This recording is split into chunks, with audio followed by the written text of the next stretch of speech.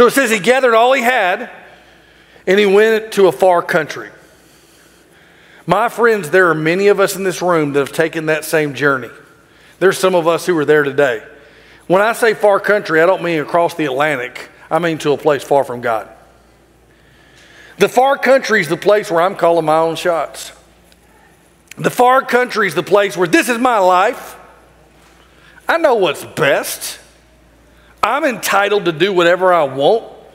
I'm a free man. I'm a free woman. You can't tell me what's right and wrong. Don't you judge me. And there's nobody that's going to tell me how to live my life. That's the far country. It is in the kingdom of God. The steps of repentance may be slow, but swift are the feet of forgiveness. But swift are the feet of forgiveness. What do you mean? Church, we may limp back to Him, but He runs to us. Listen to me. We may not have anything we bring, but He provides everything we need. Church, this is the gospel. This is the heartbeat of the kingdom.